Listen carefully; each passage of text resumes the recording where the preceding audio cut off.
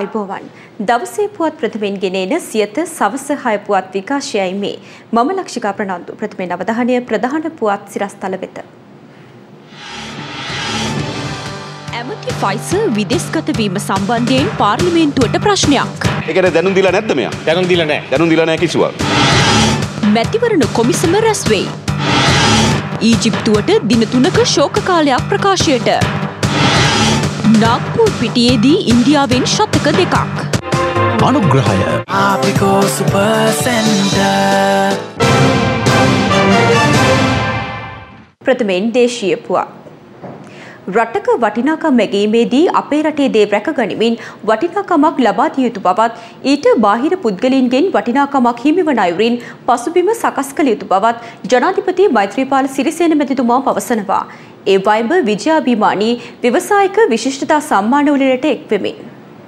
උත්සව සභාව අමතමින් ජනාධපතිතුමා සඳහන් කළේ රටේ පෞද්ගලිකංශයේ රැකියා නියුක්තිකීන්ගෙන් සේයට හැත්තෑවක් පමණ වූ සුළු හා මධ්‍ය පරිමාණ ශේත්‍රයේ සේවය නියුතු පිරිස් දිරිගන්වමින් ඔවුන්ට අවශ්‍ය පහසුකම් සැලසීමට රජය ප්‍රමුඛත්වය ලබාදී කටයුතු කරමින් සිටින අතර මෙවර අයවැය තුළින්ද ඔවුන් වෙනුවෙන් විශේෂ සහන මෙන්ම ණයෝජනා ක්‍රමයක් හඳුන්වා දීමට කටයුතු කළ බවයි. විදේශීය ආයෝජන රටට ගෙනීමේදී රටේ ස්වාධීනත්වය මෙන්ම දේශීය කර්මාන්තකරුවා ආරක්ෂා වන අයුරින් එම කටයුතු සිදු කිරීමට රජය කැපවී සිටින බවද ජනාධිපතිතුමා සඳහන් කළා. අපට අද ඉතාමත් වැදගත් ශේත්‍රයක් තමයි අපනයන ශේත්‍රය. අපේ විදේශ වත්කම් පිළිබඳව මූලික වශයෙන් අවධානය යොමු කිරීමේදී අප ඉතාමත් පහළ මට්ටමක විදේශ වත්කම් වලින් සිටින්නේ. රටක සංවර්ධනය රටක දියුණුව මූලික වශයෙන්ම මනින ප්‍රධාන මිනුම් දණ්ඩක් තමයි විදේශ වත්කම්. පිටරටින් ගෙන්නනදී. ගත්තිට ඔබ දන්නවා අද සරුංගලෙත් පිටරටින් ගේනවා. කොතෙක් දුරට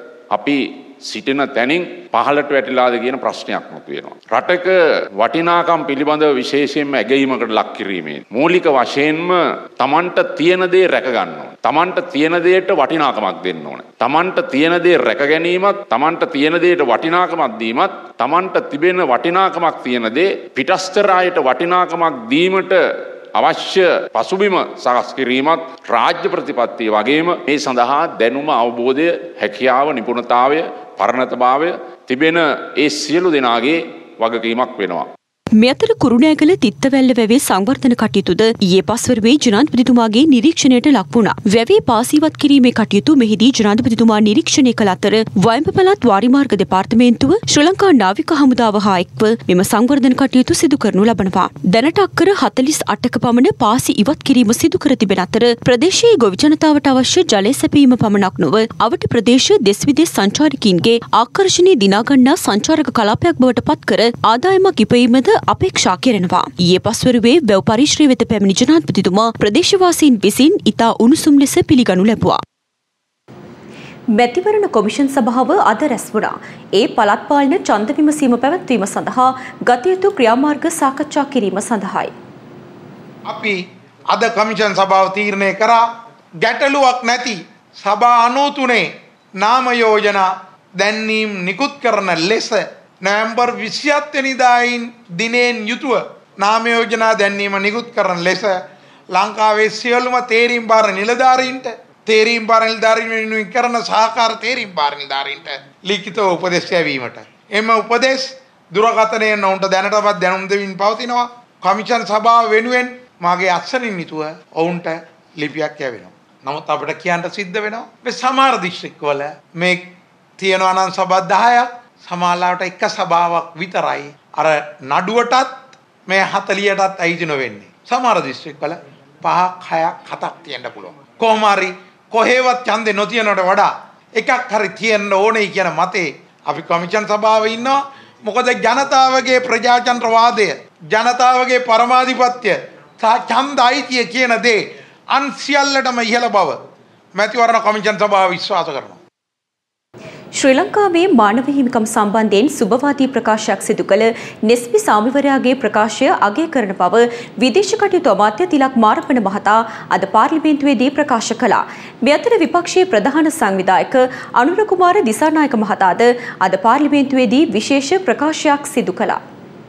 ගරු නියෝජ්‍ය කතානායකතුමනි ඇමතුමා නැති එක ගැන තමයි මම අහන්නේ. ඇමතුමා නෑ. ඔව්. පළාත් පාලන මැතිවරණය කල් දැමීමට හේතු වන සැකකටයුතු හැසිරීමක් හේතුවෙන් ජනතාව අතර මතුවී ඇති ගැටලුකාරී තත්ත්වය පිළිබඳව මෙම සභාවේ අවධානය යොමු කරනු කැමැත්තෙමි. සැකකටයුතු කියලා කියන්නේ පාර්ලිමේන්තුවේ නිසි ක්‍රියාපටිපාටිය සම්පූර්ණ කරලා තිබියදී පෙබරවාරි මාසේ 17 වෙනිදා නිකුත් කරන ලද ගැසට් නිවේදනයක දුර්වලතාවයක් තියෙනවා යයි කියලා අධිකරණ කටයුත්තක් විභාග වෙමින් තිබෙන එක. මාස 9ක් ගිහිල්ලා එවැනි නඩුවක් ගොනු කිරීමත් ඒ නඩුව පිටිපසින් ඉන්න කණ්ඩායම දිසා බලපුවම මේක සැකකටයුතු ක්‍රියාමාර්ගයක්. නිසි පරිදි මේ කාල වකවානුවල මැතිවරණ පැවැත්වීමේ කාර්යභාරය තමයි උට තිබෙන්නේ. හැබැයි ඒ කාර්යය පිළිබඳ නඩුවක් තියෙනකොට ඇමතිවරයා අධිකරණයවත් නැහැ. මෙතරම් පමා වී ඇති මැතිවරණයක් සම්බන්ධයෙන් මෙබැති ගැටලුකාරී තත්ත්වයක් ඇති වී තිබියදී ඒ පිළිබඳ අදාළ වගකීම දරන අමාත්‍යවරයාගේ මෙම සභාවටවත් මහ ජනතාවට තාම කිසිදු පැහැදිලි කිරීමක් ලැබිලා නැහැ. මේ අතර පළාත් පාලන අමාත්‍යවරයා විදේශගත වී ඇතැයි ජනමාධ්‍යවල වාර්තා වෙනවා. හැබැයි මම දැක්කා අයවැය ලේඛනයේ ඉදිරිපත් කරපු වෙලාවෙම ආණ්ඩු පක්ෂ තීරණයක් ගත්ත කියලා කිව්වා කාටවත් රට යන්න බෑ කියලා. අපි දැනගන්න කැමති පළාත් පාලන අමාත්‍යවරයා විදේශගත වී තිබේද?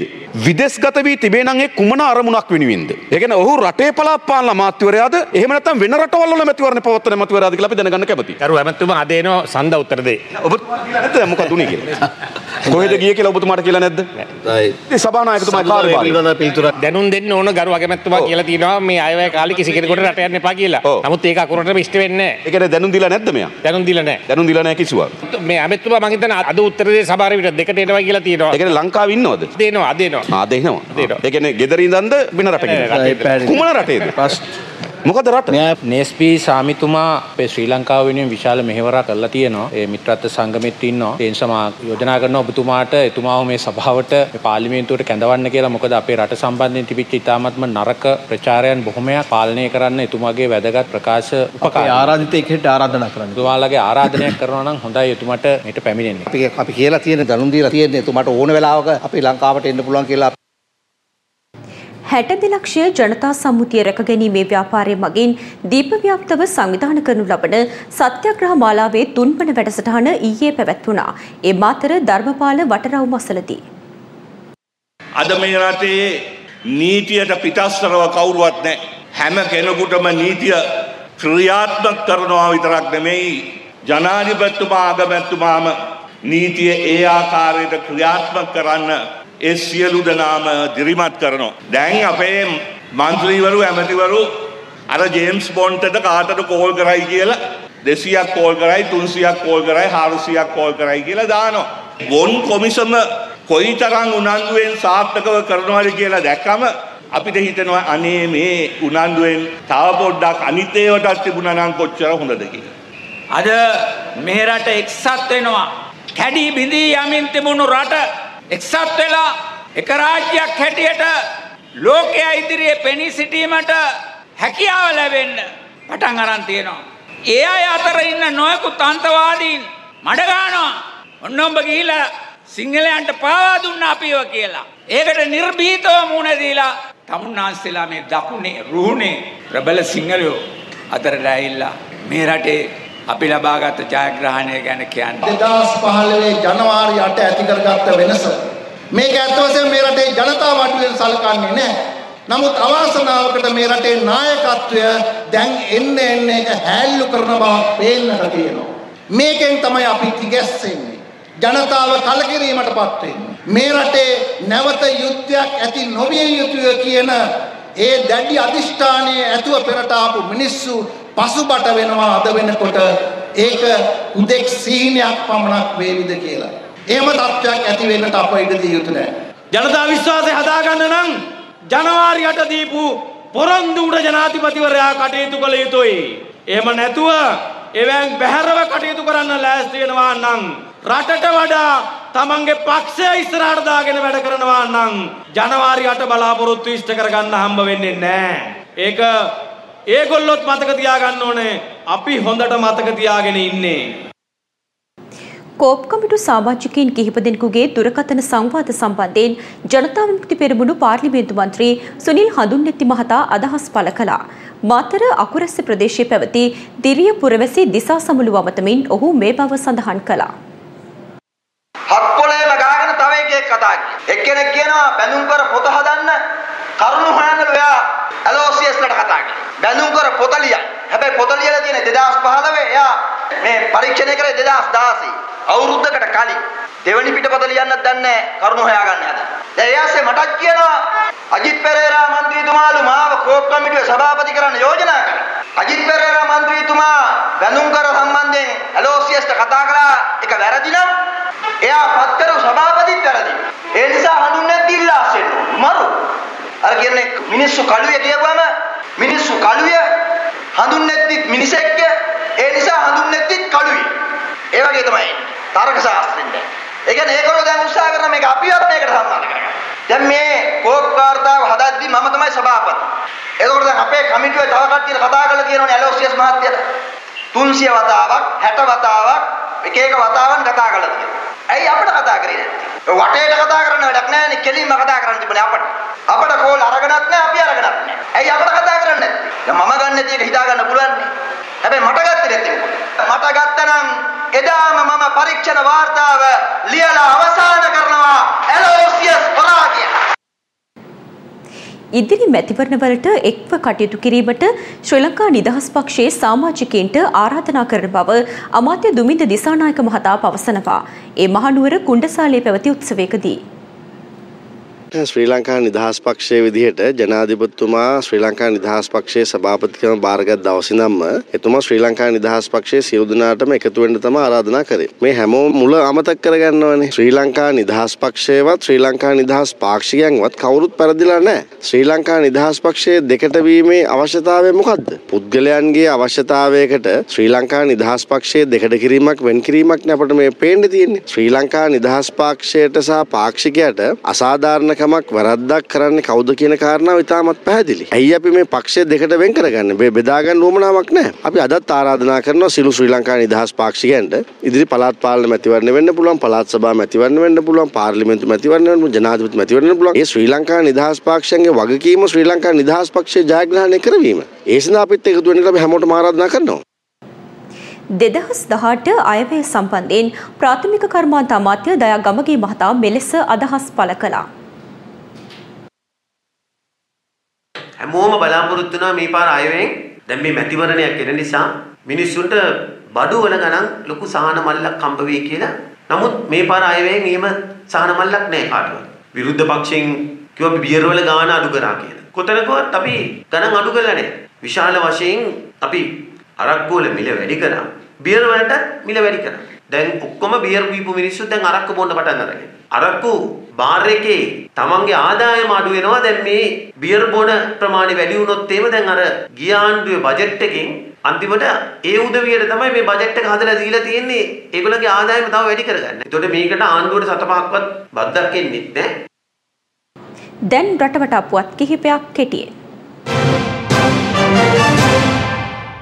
වනරෝපා ජාතික රුක්රෝපණ වැඩසටහන යටතේ වෞන්‍යාව දිස්ත්‍රික් වැඩසටහන වෞන්‍යාව දිස්ත්‍රික්කේ ඒ නවය මාර්ගයේදී වෞන්‍යාව දිස්ත්‍රික් ලේකම් සෝමරත්න විධානපතිරණ මහතාගේ ප්‍රධානත්වයෙන් පැවැත්වුණා. ඒ අනුව වෞන්‍යාව සිට පුලියන්කුළම දක්වා වූ මාර්ගය දෙපස කිලෝමීටර් විස්සක දුරක් පැල එක්දහස් පන්සීයක් රෝපණය කෙරුණා. මේ සඳහා වෞන්‍යාව දිස්ත්‍රික් ලේකම් කාර්යාලය කෘෂිකර්ම දෙපාර්තමේන්තුව සමෘද්ධි සංවර්ධන දෙපාර්තමේන්තුව ආදී අංශ ගණනාවක් සමග ආරක්ෂක අංශයේද එක්ව සිටියා. ජනාධිපතිතුමාගේ සංකල්පයකට අනුව ජාතික ජාතික වශයෙන් දිස්ත්‍රික් මට්ටමින් රුක්රෝපණ වැඩසටහන් ක්‍රියාත්මක වන අතර එහි එක් වැඩසටහනක් ලෙස මෙය ක්‍රියාත්මක වුණා.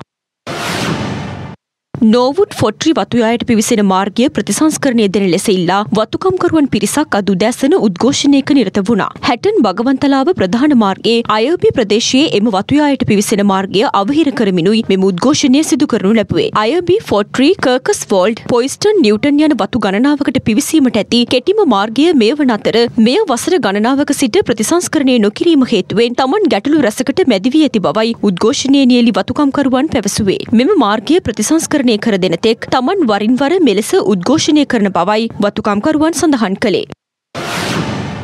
නුවරෙලිය දිස්ත්‍රික්කයේ රියදුරු පාසල්වල යෝග්‍යතාවය පරීක්ෂා කිරීම අද නුවරෙලියේදී සිදු කෙරුණා. නුවරෙලිය, වලපනේ, කොත්මලේ, හඟුරන්කෙත, අඹගමු යන කොට්ටාසවල රියදුරු පාසල් 16ක වාහන 80ක් පමණ අද පරීක්ෂාවට ලක් වුණා. මෙහිදී අඩුපාඩු හා දෝෂ සහිත වාහන යලි යථා තත්ත්වයට පත්කර පෙන්වන තෙක් ඒවාට යෝග්‍යතා සහතික නිකුත් නොකරන බවයි ඔවුන් සඳහන් කළේ. මෙම පරීක්ෂාව සඳහා මෝටර් රථ ප්‍රවාහන දෙපාර්තමේන්තුවේ ජ්‍යෙෂ්ඨ නිලධාරීන් රැසක් එක්ව සිටියා. නිර්තදිග බෙංගාලමුක්ක මුහුදු ප්‍රදේශයේ දිවයිනට ගිනිකොන දෙසින් පවතින පහළ වායුගෝලීය කැළඹිලි තත්ත්වය හේතුවෙන් අද සහ හෙට දිනයන්හිදී වැසි තත්ත්වය වැඩිවනු ඇතැයි කාලගුණ විද්‍යා දෙපාර්තමේන්තුව සඳහන් කළා. දිවයිනේ බස්නාහිර වයඹ සබරගමුව සහ මධ්‍යම පළාත්වල ඇතැම් ප්‍රදේශවල උදේ කාලයේදී මිහිදුම් සහිත තත්ත්වයක් අපේක්ෂා කළ හැකියි. මේ අතර ගාල්ල සිට හම්බන්තොට සහ ත්‍රිකුණාමරය හරහා කන්කසන්තුරේ දක්වා වෙරළට ඔබ්බෙන් වන මුහුදු ප්‍රදේශවල විටින් විට වැසි හෝ ගිගුරුම් සහිත වැසි ඇතිවන අතර තද වැසි ඇතිවීමේ හැකියාවක් පවතින බවයි කාලගුණ විද්‍යා දෙපාර්තමේන්තුව නිවේදනය කළේ. ව්‍යාපාරික පුවත විශේෂාංගය දැන්. වසරක් පාසා පවත්වන සිංගල් ලයිෆ් ස්ටයිල් ප්‍රදර්ශනය මෙවරත් හත්වන වරට අති උත්කර්ශවත් අයුරින් ආරම්භ වුණා. ඒ ඊයේ බණ්ඩාරනායක සම්මන්ත්‍රණ ශාලාවේදී මෙවර ප්‍රදර්ශනයේ නොයෙකුත් මාදිලියේ වෙළඳ භාණ්ඩ 50ක් සමගින් නවම මුහුණුවරක් ගෙන තිබෙනවා. මේ පිළිබඳ අදහස් දැක් වූ සිංගල් ශ්‍රී ලංකා සමාගමෙහි අලවි අධ්‍යක්ෂ කුමාර සමරසිංහ මහතා. අපි දකිනවා ගිය සැරේට වඩා විශේෂ ජන සංඛ්‍යාවක් පැමිණෙනවා. මොකද උන් දන්නවා ගිය වසරේදී මිලදී ගැනීම සඳහා එහෙම නැත්නම් ඊට කලින් මිලදී ගත දේවල් වෙනුවෙන් ඔවුන්ට ලැබුණු විශාල දීමනා ඉතාමත් අගය කරනවා. ඒගොල්ල නැවතත් ඇවිල්ලා තියෙනවා. අපෙන් ඒ නැවත නැවතත් භාණ්ඩ මිලදී ගැනීමට අපි ඉතාමත් හොඳ ප්‍රවණතාවයක් දකිනවා.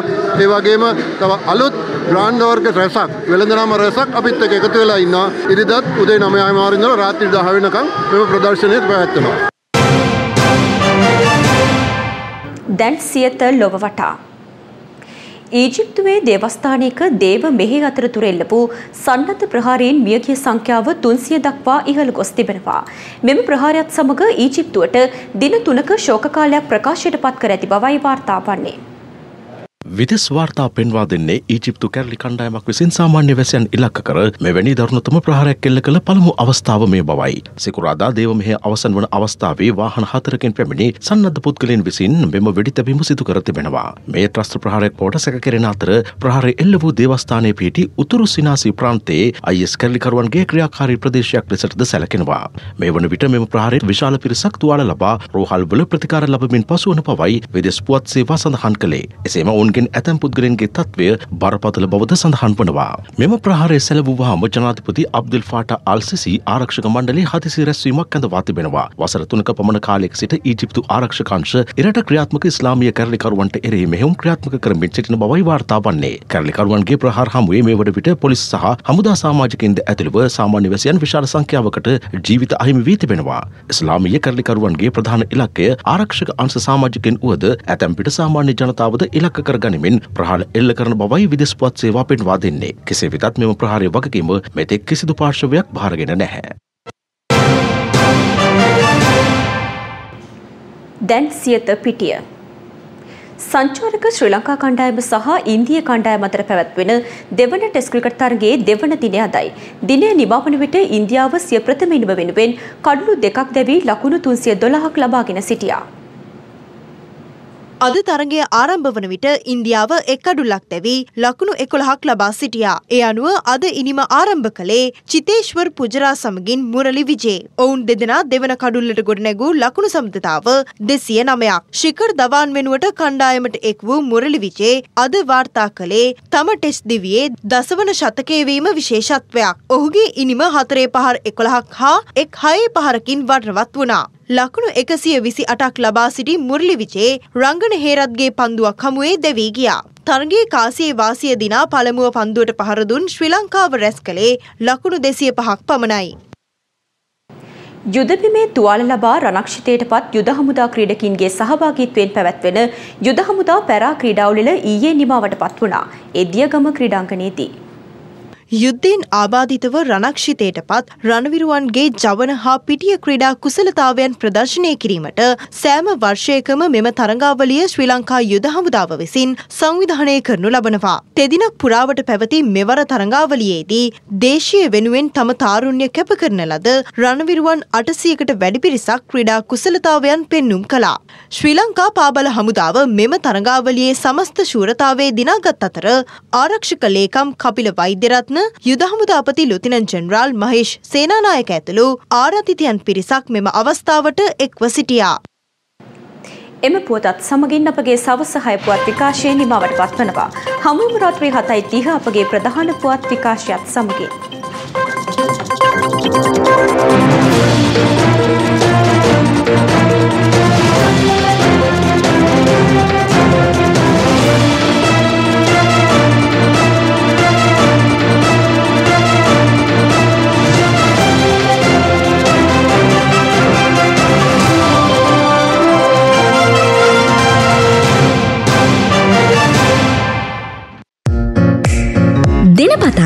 වීඩියෝ සහ ප්‍රවෘත්ති නැරඹීමට ඉහත බටන එක කලික් කර සියත TV සබස්ක්‍රයිබ් කරන්න. අලුත් වීඩියෝ ගැන මුලින්ම දැනගන්න මෙම සීනුව කලික් කරන්න.